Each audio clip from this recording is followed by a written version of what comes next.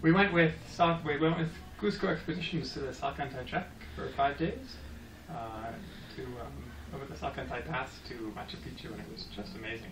It was really, really a, an incredibly beautiful trip. We went through several different microclimates and different ecologies. Uh, all of the scenery was stunning, absolutely Stunning. stunning. Yeah, And the guide was the guide was excellent. Um, he knew so much about the mountains. He knew so much about the jungle. He pointed out plants and insects and birds to us along the way.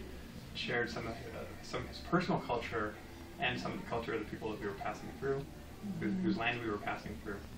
Uh, and our cook Victor was excellent too. He cooked delicious food every day, incredible gourmet meals out in this campsite. They were like the best meals. I mean, I've lived in mm-hmm. Quito, Ecuador, for most of a year, and, and I've been in Peru for you know for the last week or so.